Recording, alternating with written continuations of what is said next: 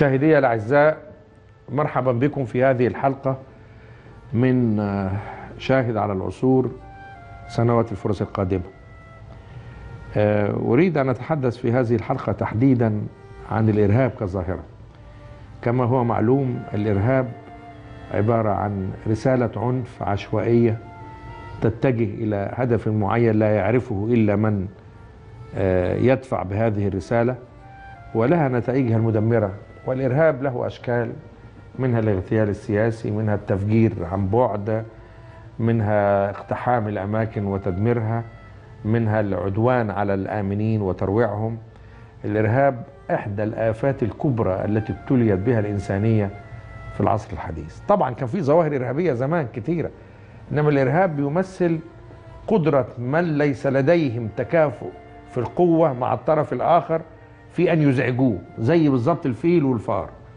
الفار ما يقدرش على الفيل فممكن يقرصه ويجري يلسعه في حتة ويختفي. هي دي المشكلة الحقيقية للإرهاب ومتابعة الإرهاب تقتضي جهد مشترك وتقتضي أيضا صبر ونفس طويل.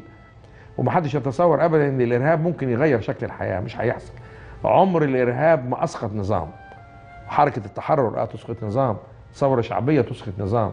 إنما الإرهاب الأسود بمعناه اللي إحنا عارفينه في التاريخ وفي السياسة لا يمكن أن يغير نظاما قائما على الإطلاق.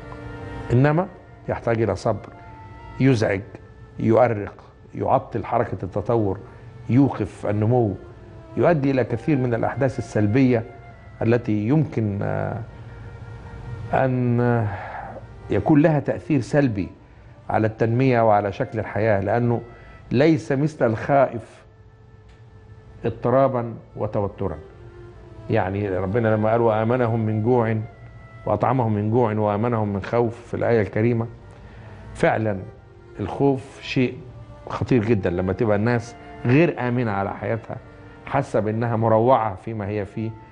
الحياة تبدو في هذه الحالة شديدة الصعوبة شديدة القتامة. ولذلك الأمن إحدى النعم التي أنعم الله بها على البشر. وليس كمثلها أبدا. الإرهابي عايز يزعج عايز يؤرق عايز يقتحم أمن الآخرين. لما طائرة تدخل في مبنى في وسط نيويورك مين اللي كان هيقدر يخش نيويورك؟ ما لابد يكون عمل إرهابي. أنت هتقدر تخش في قوة متكافئة للمواجهة بين قوات بن لادن وقوات جورج دبليو بوش؟ لا مش هيحصل. كر وفر هروب في الصحراء اختفاء في الكهوف محاولات القيام بعمليات سريعة وخاطفة ومؤثرة. العمليات الانتحارية مثلا يبين لك إنه عقيدة من نسميه إرهابي أحيانا تصل إلى حد إنه الفارق بين الحياة والموت مش موجود. ده بيبات بالليل وبيعلن إنه هيفجر نفسه وعارف إنه رايح الدار الآخرة. طبعا بيبقى مفاهمين إنه رايح على الجنة. بيقف يقول خطاب وهو حاطط لابس زي معين وكأنه عريس بيزف إلى العالم الآخر. وأحيانا أمه بتزغرد. بعد ما يقوم هو بالعمل الانتحاري ويعتبر شهيدا. شهيد أو لا شهيد دي علمها عند ربي. إنما اللي أنا بؤكد له إن وصول الإنسان إلى حد اتخاذ قرار بالتضحية بحياته معناها أن اعتقاده جازم وراسخ بما يؤمن به وما يعتنق من فكر أو من توجهات. ال- الإرهاب له دورات في التاريخ ولم يتوقف ابدا في مراحل مختلفة منه. الإرهاب آفة من آفات الكبرى في هذا العصر وما اظن المدنية والحضارة الإنسانية كلها لم يهددها شيء مثل موجات الإرهاب. كل شيء ممكن تواجهه كل شيء ممكن تنتصر عليه. العدو الظاهر تقدر تتعامل معاه. إنما العدو الخفي الذي لا تدري أين هو هي دي المشكلة. وأستطيع أن أؤكد إنه لا يوجد بلد يمكن أن يحفي يحمي نفسه من من الإرهاب 100% تفجيرات حصلت في واشنطن وحصلت في نيويورك وحصلت في لندن وفي مدريد وفي باريس وفي كل بلاد العالم. طبعا في القاهرة وفي كثير من المناطق في هذه المنطقة الملتهبة من آه، الشرق الأوسط.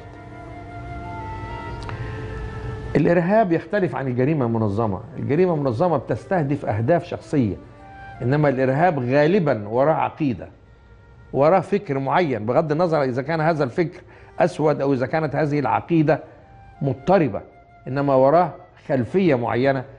الجريمة المنظمة لا مجموعة قرروا يسرقوا قطر مجموعة قرروا يخشوا على بنك.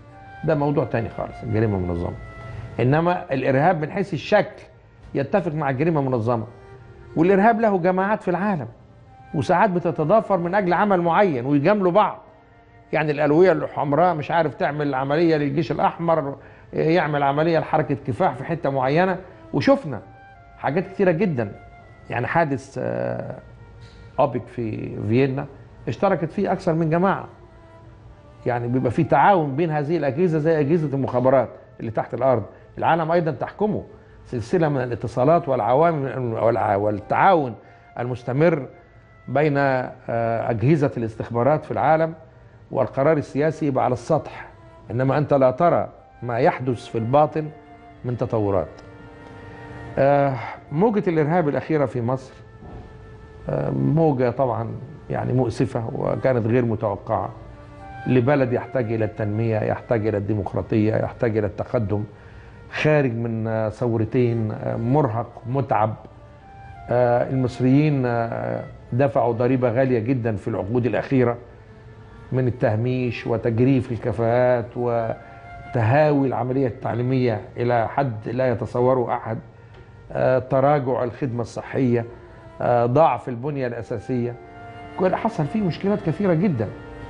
يعني مش بس حكاية انقطاع كهرباء و- وزحمة مواصلات اللي يشوف المرور في القاهرة عليه أن يتساءل كيف سيكون مستقبل هذا البلد بعد 10 20 سنة إذا ظل الحال على ما هو عليه. هل نبني عاصمة جديدة؟ هل نتوسع في هذه العاصمة؟ ماذا نفعل؟ أسئلة كثيرة تطرح نفسها. بلد يحتاج أن يطرح هذه الأسئلة وأن يتحدث عن التنمية والتطور يواجه بموجات إرهاب على النحو الذي آه، شهدناه في الفترة الأخيرة. الإرهاب الأخير هيجي البعض يقول لي يعني بلاش تحط الجرس في رقبة القط. بلاش تتصور أن الإخوان المسلمين هم من وراء هذا. نعم هوافق معاك واريحك ولكن ما رأيك في الدلائل والمؤشرات التي توحي بذلك؟ ما رأيك في تصريح الأخ محمد بلتاجي اللي قال إذا توقف السيسي الآن عن هذه الإجراءات اللي كانت تاني يوم أو عزل مرسي سنتوقف عن كل شيء. ويتوقف العمل العسكري في سيناء وفي الداخل وفي الخارج الارتباط واضح تماما. وفي حاجات بتبقى ردود على حاجات مباشرة. ولذلك أنا في رأيي أخطأ الإخوان المسلمون كثيرا بهذه الممارسات ووضعوا نفسهم في نفس الخندق مع الجماعات الإرهابية. كنا نتحدث دائما حتى من وراء قلوبنا على أن جماعة الإخوان المسلمين جماعة دعوية يغلب عليها التحول السلمي والعمل السياسي. الآن الأمر أصبح يحتاج إلى نقاش. بعدما جرى في 3 يوليو وأنا قلت قبل كده كان أمام الإخوان في 3 يوليو فرصة تاريخية لتصحيح المسار والاندماج في العملية السياسية والاعتراف بالخطأ والاعتذار عنه ولكنهم لم يفعلوا واختاروا طريقا آخر على النحو الذي شاهدناه جميعا. ظاهرة الإرهاب تحتاج إلى جهود شعبية لمواجهتها. ظاهرة الإرهاب لا تستطيع لا الشرطة ولا القوات المسلحة وحدها مقاومتها. تعتمد على معنويات الناس على قدرتهم على الارتفاع فوق أحداث العنف اليومية والمضي في الحياة العادية كما هي. شوفوا اللبنانيين كانوا في الحرب الأهلية بيعملوا إيه؟ مجموعة لما تحب تسهر ممنوع العربيات تمشي في خط التماس بين شرق وغرب بيروت إلا عربيات الأسعاف. ناس عايزين يسهروا من الشرق في الغرب أو العكس يأجروا عربية أسعاف مقفولة ويعدوا بيها. إرادة الحياة؟ هذه الشعوب صعب قهرها. إنما إذا كان هناك شعب يرتعد ويخاف بسرعة ويصيب الهلع الدائم يستطيع الإرهاب أن يؤثر فيه بالتأكيد. لن يقهره في النهاية ولكنه سوف يتعبه أكثر من أي شعب آخر. شديد المراس قوي الشكيم شوف الشعب العراقي وقوة شكيمته والذي مر بكل هذه الظروف وكيف تحول هناك الموت إلى نوع من أنواع الحياة. يعني آه، في شعوب بترى إن الموت أحد المراحل الطبيعية للحياة. شفتوا جنازة الفنانة صباح وكيف أحيتها الفرق الموسيقية ورقصات الدبكة وغيره وصيتها لأن هناك شعوب فكره الموت عندها ما هياش بهذه الدرجة التي لدينا. والحضارة المصرية القديمة هي حضارة مقابر في معظمها. نتيجة الخوف من الموت والإحساس بالحياة التانية. قضية الموت اتشعلقت في ذهن المصري القديم وحطت علامة استفهام. فاخترع التحنيط وبنى الأهرامات وسعى دائما إلى أن يجعل من الحياة الثانية امتداد لحياة الملك أو الكاهن أو الخادم بنفس الطريقة التي عاش بها في حياته. أنا متذكر في التسعينيات كنت أعمل مع الرئيس الأسبق مبارك وظهرت موجة الإرهابات تفجيرات أمام البنوك. كان فاكر شهر رمضان مرة كل يوم تفجير في حتة. وكان بقى لا في مواجهة مع الإخوان ولا حاجة لكن كان في عدم رضا. عن نظام مبارك وكان في قوى بتستهدف هذا النظام لتقويضه. إنما أنا عايز أقول لكم الراجل ده شهادة حق هو رابط الجأش جدا. أنا أزعم أن محمد حسني مبارك من أكثر رؤساء مصر قوة في الأعصاب. ولا يهتز بسهولة ولا يتأثر ابدا ولا ينفعل بالشكل الذي نتصوره عندما يرى أن هناك خطرا داهما. أنا متذكر مرة اقتحم شاب ابن قاضي كبير منزله منزل الرئيس ودخل في رعونة وأمطر بالرصاص وقتل. والرئيس كان في أسوان وطلب مني استدعاء بعض الوزراء للمكتب في مكتبي ليتحدثوا إليه تليفونيا. فأنا فلتت مني بقول له يا فندم ما تخافش ده موضوع ما هوش سياسي ده موضوع عادي. اتنرفز عليا طبعا وأنا خاف وأنا بخاف من حاجة. ما أنا مش سياسي ولا مش سياسي مش مهم. يعني مثلا يوم الأمن المركزي أنا فاكر يوم التمرد بتاع الأمن المركزي. كان رابط الجأش ينام ساعات نومه العادية. يطلب حظر التجول بهدوء بسرعة. طلب يومها شعراوي جمعة من الدكتور أسامة الباز أن يبلغ الرئيس بضرورة أن يظهر على التلفزيون ويتحدث إلى المواطنين لأن دي مسألة مهمة جدا أن يتحدث الرئيس إلى شعبه في تلك الفترات الصعبة. فعل ذلك مبارك. ولكن كان دائما قوي الأعصاب. وأنت هروح بعيد ليه؟ يعني رجل تعرض لما تعرض له هذا الرجل في هذه السن المتقدمة ولا زال متماسكا هادئا بغض النظر عن أوجاعه وأمراضه. معناها إنه راجل قوي ومر بمحن ضخمة جدا لعل أبرزها وفاة حفيده المفضل المفضل لديه رحمه الله. اذا واجه الإرهاب بقدرة كبيرة جدا. على مواجهته. يوم ما أبلغ أنا فاكر بمصرع رفعت المحجوب. طبعا انزعج ولكنه كان متماسكا. راجل نمرة اتنين في الدولة بيقتل في عملية اغتيال في أحد شوارع القاهرة. قرب أقر أكبر ميدان فيها. إنما كان دائما يستطيع أن يواجه الإرهاب بهذه القدرة. شكل مرة لجنة برئاسة المشير أبو غزالة وأرسلني أكون مراقب في هذه اللجنة مع المجموعة اللي فيها وزير الداخلية ووزير الدفاع طبعا. ورئيس المخابرات العامة ورئيس المخابرات الحربية ومباحث أمن الدولة مجموعة كبيرة جدا لمواجهة الظاهرة الإرهابية.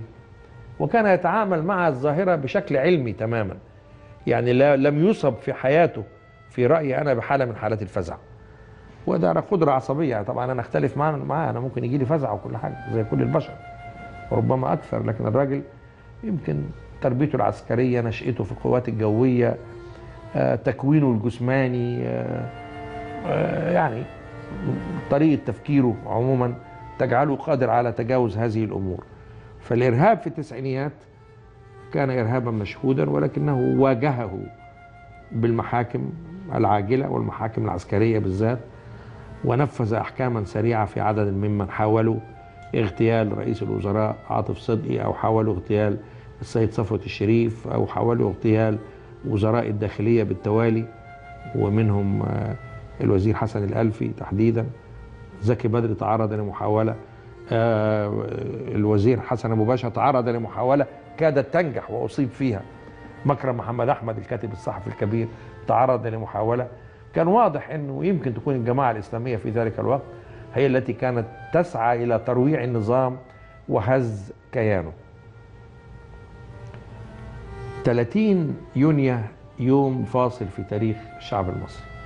لأنه لأول مرة يحتشد من أجل هدف واحد وتجتمع رموزه بلا استثناء لمحاولة تغيير وضع قائم وده اللي حصل يوميها. وأنا في رأيي إن ده يعطي الرئيس السيسي كريدت يعني يعطي له ميزة كبيرة إنه استطاع أن يستثمر هذا الزخم الشعبي وأن يلبي نداء هذا الشعب وأن يتحرك ليقوم بحركة 3 يوليو عام 2013 آه يعني لعلنا نتذكر بالمناسبة ذكرني البعض بمحاولة اغتيال الرئيس الأسبق مبارك في أديس أبابا. أنا شخصيا هو حكاها لي أنا وهو بس. جيت في زيارة كنت سفير في فيينا وجيت في أوائل عام 96 كان كان أول مرة أشوفه بعد محاولة الاغتيال. وحكى لي شخصيا كيف أنه تدارك بسرعة عند انهمار الرصاص تجاهه إلى أن يطلب من قائد سيارته من السواق إنه يرجع عكس في نفس الشارع اللي هو فيه لأنهم كانوا عاملين له أكتر من تربيطة رباطية. يعني انضرب في الأول في الشارع ده اللي ماشي كده. وهو بيلف بقى في ناس قاعدة فوق قناصة هتضرب. اما عدى انفلت من الاثنين دول الناحية الثالثة هو حرق هذا التخطيط عليهم وبصفاء ذهني شديد جدا وضبط أعصاب استطاع أن يتخذ قرار أن يعود مباشرة ويقول له تدور عربيتك في نفس الشارع اللي إحنا فيه ويرجع تاني تجاه ال- الاتجاه العكسي. وبذلك أفلت من هذه المحاولة. برضو محاولة بورسعيد أيضا كان لديه قدر كبير جدا من رباطة الجيش. وأظن برضو دي إحدى الفرص الضائعة. يعني يوم رجع بعد محاولة الاغتيال في أديس أبابا كان عنده فرصة يحيي جماهير شعبه ويعلن رغبته في الانصراف والتوقف عند هذا الحد من الحكم. إنما طبعا اللي بيبقى قاعد على الكرسي غير اللي قاعد بعيد عنه. الكرسي فيه كهرباء فيه مغناطيس محدش بيقدر يسيبه بسهولة. ودي كل الناس اللي إيده في المية مش زي اللي إيده في النار. اللي قاعد بايده يقول لك آه ما كفاية كده. وكل الناس أول ما بتيجي تقول لك أنا عايز مدة واحدة مدتين بالكتير وبعد كده بقى الناس بتعيط عشانهم وتقول لهم خليكم فيقعدوا. آه اللي أنا عايز أقوله إنه لما خرج آه، فريق أول ساعتها عبد الفتاح السيسي ليعلن في المؤتمر الصحفي اللي حضروا الرموز اللي تحدثنا عنهم شيخ الأزهر بابا الكنيسة القبطية كان الدكتور البرادعي قيادات آه، سلفية قيادات آه، حزبية إلى آخره قيادات القوات المسلحة. أدركنا أن هناك شيء جرى تخطيطه بإحكام وبذكاء. وهذه النقطة سوف تظل علامة مضيئة في تاريخ آه، المشير آه، السيسي. أنه استطاع أن يقوم بمثل هذا العمل الجريء في تلك الظروف الصعبة المعقدة وتحمل سنة كاملة كثير من الاستفزازات وربما الإهانات للقوات المسلحة.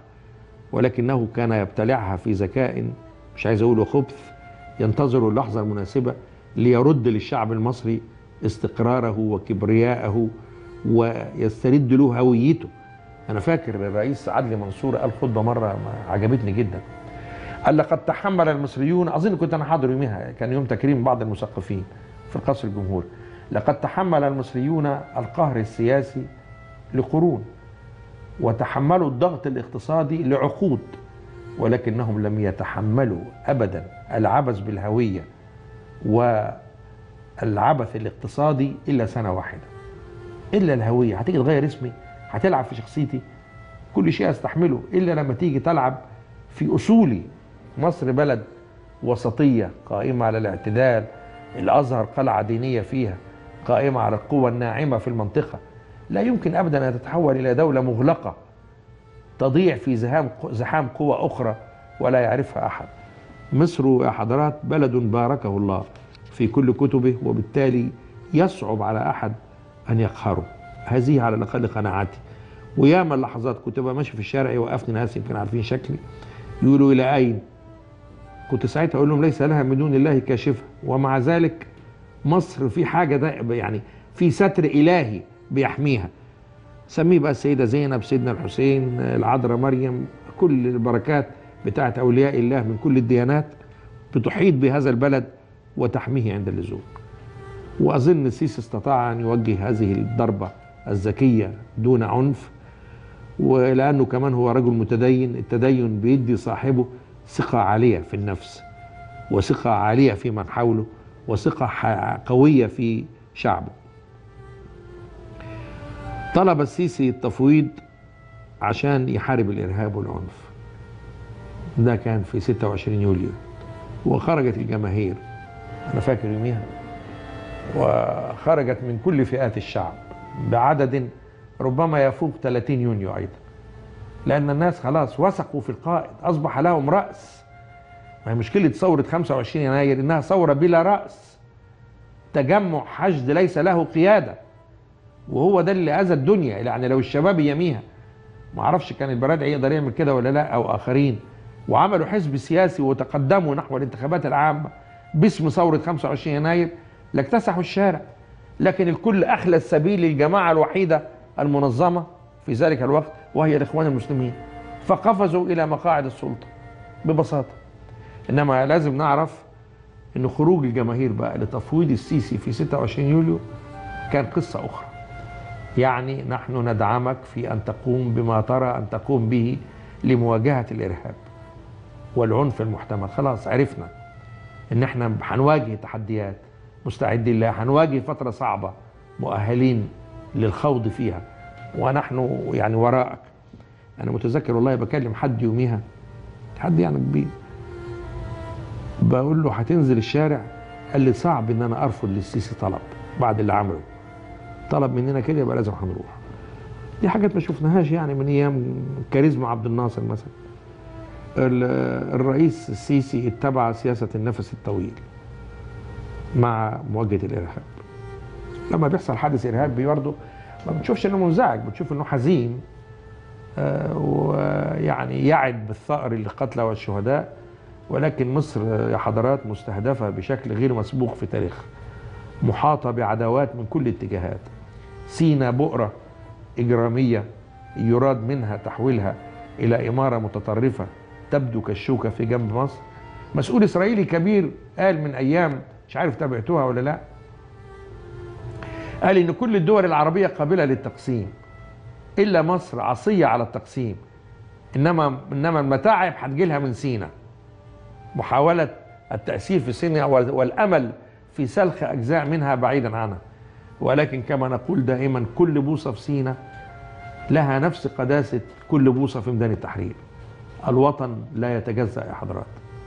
الرئيس السيسي استطاع أن يقيم يعني محاولات أمنية ناجحة في الفترة التي تولى فيها قبل أن يتولى حتى رئاسة البلاد وهو وزير دفاع وأصبح عضوا في مجلس الوزراء يقبل كل التحولات وقبل أن يكون مرؤوسا لدكتور الببلاوي فترة وللأخ إبراهيم محلب فترة أخرى لأن الرجل كان على قناعة بأنه يؤدي عمل لهذا البلد. وحتى في التغيير الوزاري لما قالوا ده هيطلع لما جه محلب يعمل الوزارة إزاي الراجل هيبقى مرشح الجمهورية؟ لا بق- بقي ولم يجد غضاضة على الإطلاق في أن يكون عضوا في مجلس الوزراء يترأسه أحد زملائه في الوزارة السابقة ال- أنا متذكر دعانا الفريق أول السيسي مع بعض القيادات الفكرية والمثقفين وكبار الشخصيات إلى التفتيش على حاجة اسمها الفرقة التاسعة كنا في منطقة دهشور. ورأيت يعني ما لم أكن أتخيله. يومها آمنت فعلا أن الجيش المصري هو أكبر وأقدم جيوش المنطقة وأكثرها مهنية على الإطلاق. شفت المدرعات في مساحة ضخمة جدا تتحرك هو كان راكب عربية جيب وبيمشي يتفقدها من مكان لمكان. ويوميها بقى قالوا له كيف تتركنا المثقفين؟ وسألوا عادل إمام وسألوا آه، آه، دكتور يحيى فخراني. واتكلمت يوميها السيدة نشوى الحوفي حتى وتشنجت وبكت أمامه. يعني كيف تتركون إلى الإخوان بهذه الصورة؟ رد ردودا عاقلة ولم يتورط في تصريحات تكشف اتجاهاته. وقال إننا يعني خدموا هذا الشعب وأبنائه نأتمر بأمره عند اللزوم. إشارة ذكية جدا أن الدعم الشعبي هو الذي يحركني ولا يحركني شيء آخر. الرئيس مبارك اللي أسبق اللي أنا اشتغلت معاه 8 سنوات من 85 ل 92 أستطيع أن أقول أنه كان ينظر إلى الإرهاب باعتباره تطرف ديني بالدرجة الأولى وكان يحاول آه، أن يواجه الإخوان. بس أنا يعني أخذ عليه أنه لم يتجه لاحتواء الظاهرة وهي في بدايتها. أنا شخصيا حاولت وقلت أن الأخ مختار نوح جالي مرة مفوض من آه، السيد عمر التلمساني لكي نتحدث عن إمكانية الحوار مع النظام. كنا في الثمانينات لسه في الأول. وعمر التلمساني كان يعرفني وحتى دايما اللي بيفكرني بالحكاية دي الأخ المحامي المعروف مختار نوح الذي كان إخوانيا في يوم من الأيام ثم خرج من الجماعة. أيضا التقيت سيف الإسلام البنا ابن الإمام حسن البنا عدة مرات. والتقيت الدكتور عصام العرياني الذي كان يأتيني في مكتبي بصفة منتظمة. نتحدث على إمكانية حوار ولكن ذلك لم يتم. كان هناك دائما من يفسد التواصل وربما كان هذا يأتي من جانب الإخوان المسلمين. لأنهم لم يكونوا جادين في الحقيقة في أن يتعاملوا مع أي نظام إلا وفقا لأجندتهم هم. كل شيء في ذهنهم مرحلي. الديمومة التي هي لله وحده يظنون أنها فقط لهم ولدعوتهم. يعني أنتوا فاكرين والله أنا اندهشت مرة توني خليفة في برنامج جاب أحد رموز الإخوان وجايب له علم مصر وعلم الإخوان. يقول له أيهما أفضل؟ يقول له لا إجابة. يعني علم مصر لا يعلو علم الإخوان. فقال له شعار الاله الالوهيه حتى. قال له يعني لا تعارض ما لكن عمره ما نزل بشعار الإخوان عن الشعار الأعلى والأسمى في ذهنه. فدي بتبقى حقن دوكترينز تفاصيل بتجري في الدم وتربية من الصغر. أنتوا فاكرين ان الاخوان يعني يقبل واحد كده يجي له وهو عنده 50 60 سنة يقول له أنا بقيت إخواني سلام عليكم. لا ابدا. هيعامله على إنه تابع فقط ويعامله على قده. ويعتبرهم دول أصدقاء الإخوان لكن الإخواني لابد أن يبدأ من سن مبكرة وأن يتعود الطاعة العمياء وأن يقبل الأوامر وأن يستعد للتضحية وأن لا يناقش فيما يكلف به من تعليمات. كل الأمور دي كان مبارك يتحدث عنها دائما ويرى أنه ضرورة مواجهة الإرهاب. ولكن فيه نقطة خطيرة جدا في عصر الرئيس مبارك لابد أن أعترف بها. وهي إيمانه المطلق. ودي جزء من مدرسة 23 يوليو للأسف. إيمانه المطلق بالتعامل الأمني مع الظواهر الخارجة على القانون. تعامل سياسي مفيش إنك تعمل حزب قوي يخش في الحوار مع الإخوان المسلمين ويقدر يشغل الساحة ويمشي على الأرض ويتحرك ما تعرفش تعملها التانيين ناجحون في ذلك وقادرون على الحشد والوصول لصناديق الانتخابات والتربيط بسرعة. هذه قضية كبرى لابد أن نعترف بها وهي فشل الأنظمة التي جاءت بعد 23 يوليو من التعامل السياسي مع القوى الأخرى. عبد الناصر كان معتمد على الكاريزما بتاعته. تقول له ديمقراطية ديمقراطية ده ناس بتشيل بيه العربية. عنده استفتاء شعبي كل يوم. أنور السادات اعتمد على التهدئة وعلى ما انشغل به الناس من قرارات مفاجئة ومواقف. قرارات الحرب وقرارات السلام يعني كان عصره مشغول. عصر مبارك لا كان فيه لا حرب ولا ثورة. فكان يجب أن يتفرغ في الثلاثين سنة دول لتربية كوادر سياسية حقيقية. الفقر اللي إحنا شايفينه ده عدم وجود كوادر سياسية سببه عدم وجود تربية سياسية. وأنا قلت أمام الرئيس السيسي هو لسه مشير قبل الانتخابات بأيام إنني أتمنى دراسة تجربة منظمة الشباب. إنما مع الاختلاف خلاص العصر اختلف. مانيش عايزك تيجي تقول لي قوالب وكل الناس تبقى منشيه وتمشي في اتجاه واحد لا. تربية سياسية مع التعددية. يجب أن نقيم تنظيمات لأن دي مهمة الأحزاب والأحزاب في مصر ضعيفة. فلا تربي كوادر سياسية فليس أمامك إلا أن تعتمد على تربية سياسية من جانب الدولة دون أن تضع الدولة في ذهن هؤلاء الشباب ما تريد أن تقول لا إنما تعلمه الأسس الوطنية. تجعله يقف على أرض مصرية في النهاية. هو هذا الذي يعنيني ويعني كل واحد يسعى لصالح آه هذا البلد. الجماعات الإرهابية كان دايما عندنا إحساس بأن الولايات المتحدة الأمريكية بتقف إلى حد كبير آه وقفة متعاطفة معها. وازدواج المعايير في سياسة أمريكا أمر محير للغاية وهذا ما سوف نراه حالا. العلاقة بين الولايات المتحدة الأمريكية والإرهاب علاقة يعني لابد أن نتلمسها وأن ندركها. وأنا في رأيي أن البداية بدأت من الاحتلال السوفيتي السابق لأفغانستان. وتربية كوادر إسلامية لمواجهة ذلك الاحتلال. وصارعت دول زي السعودية ومصر وكل الدول الإسلامية إلى دعم المقاومة الإسلامية في أفغانستان ضد التدخل السوفيتي باسم العقيدة وباسم الإسلام في مواجهة دولة شيوعية كبرى في ذلك الوقت. طب لما ينتهي هذه المقاومة الناس دي هتروح فين؟ ما هي دي المشكلة بقى. من هنا بدأت المدارس الأولى للإرهاب. فبقى عندنا مدرسة أفغانستان والعائدين منها. مدرسة تانية مدرسة البوسنة والعائدون منها. برضو دي كانت مجموعات بتحارب الصرب وجبروت صرب البوسنة بالذات وانتهت المهمة وتشتتوا وتجمعوا فيما بعد ليقوموا بأدوار أخرى. أنتوا عارفين أسوأ شيء إنك تسرح قوات مسلحة تنهيها ما دي الغلطة اللي حصلت في العراق. بريمر بقى الله يمسيه بالخير. نكب العراق نكبة تاريخية. يوم محل الجيش العراقي وتحت مسمى اكتثاث البعث. الجيش ده لما تسرحه هيشتغل حساب نفسه خلاص. بدأ يعمل تفجير هنا ب 300 دولار يعمل خبطة هنا ب 1000 دولار. وهيعمل إيه الناس؟ ما عندهاش أسر. ما عندهاش دخل الأسر بتاعتها. عندها أسر طبعا.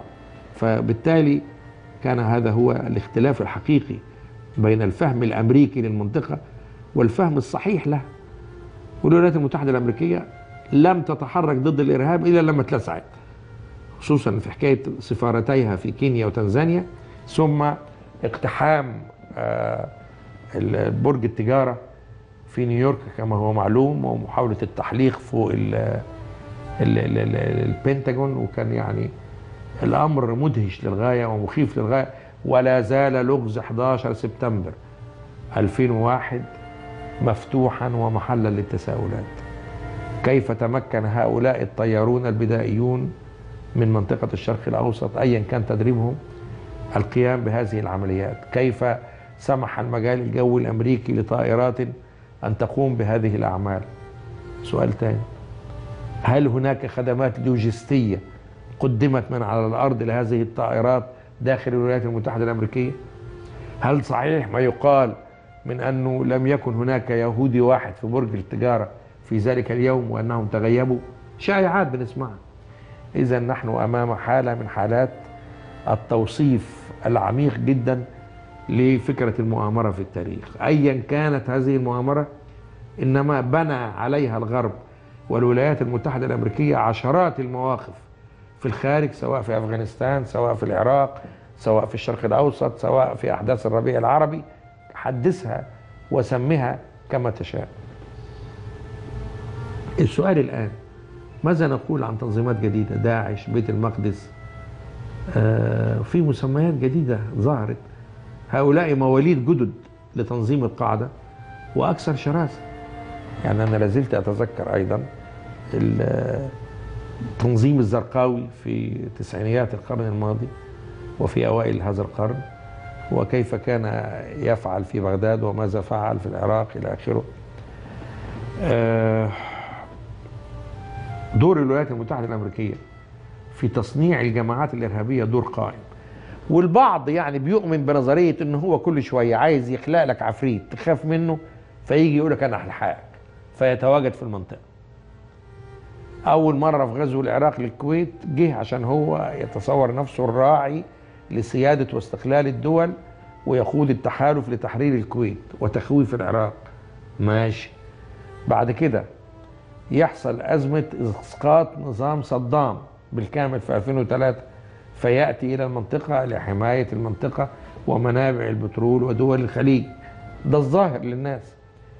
دلوقتي بدأ التحالف لمواجهة داعش ويسبق من دلوقتي يقول لك العملية هتاخد سنوات طويلة.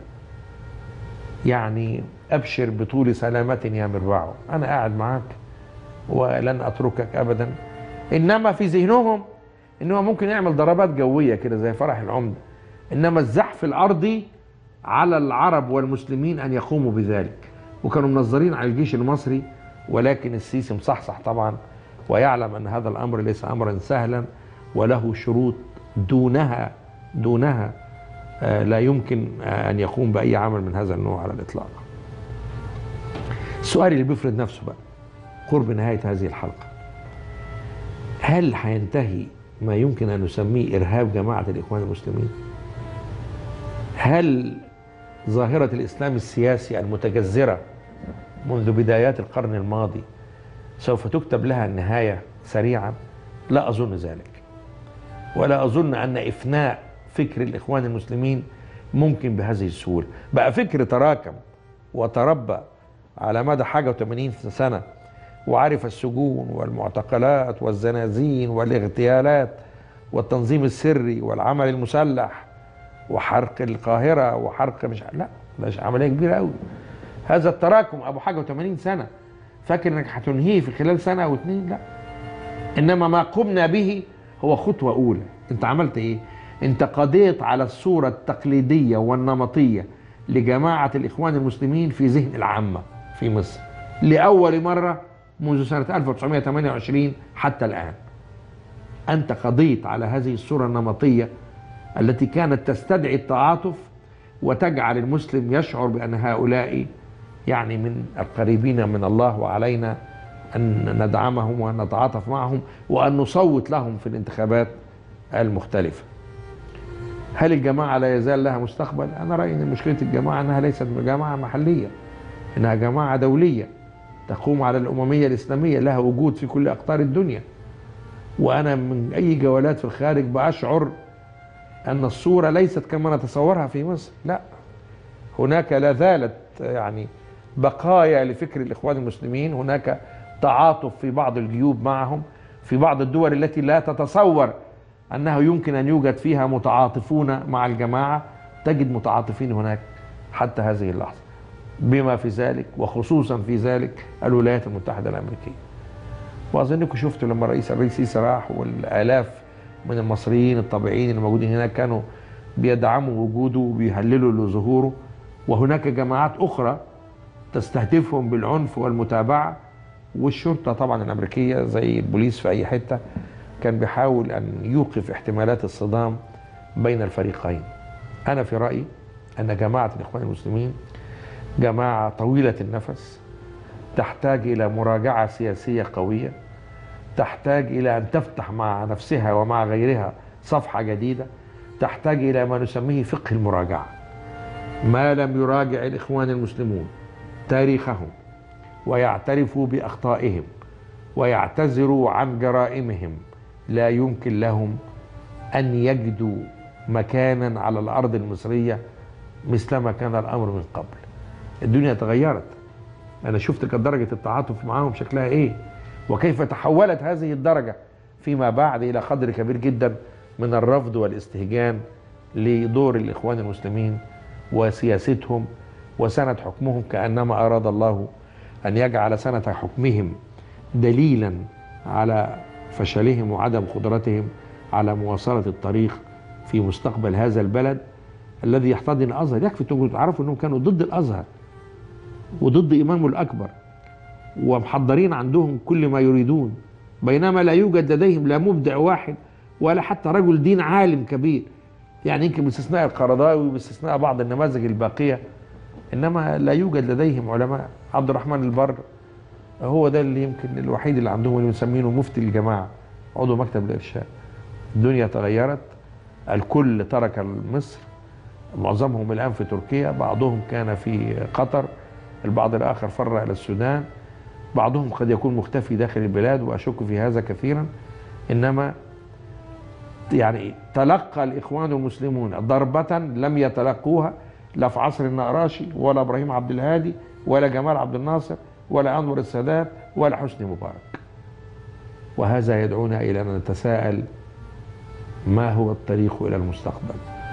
وسوف يكون حديثنا في الحلقة القادمة عن ما فعله الإخوان بعد 30 يونيو وما هو مستقبل علاقتهم بالوطن. اسمحوا لي أن أقول لكم في نهاية هذا الحلقة أشكركم كما هو الأمر دائما وأتمنى لكم التوفيق. في ناس دورها يكون في المعارضة أيا كان من في الحكم. أنا شفت عناصر هو كاره كل من يحكم. توقير مبارك للقضاء تاريخيا شيء أنا أشهد به لأنه والده كان موظف في المحكمة. لماذا أعطي مبارك الفرصة في أن يلقي خطبة للدفاع عن نفسه ولم يعطى مرسي كل من يقف على أرضية وطنية مصرية ويرفض الإرهاب وليس عليه إدانة قضائية هو ابن صالح لهذا البلد.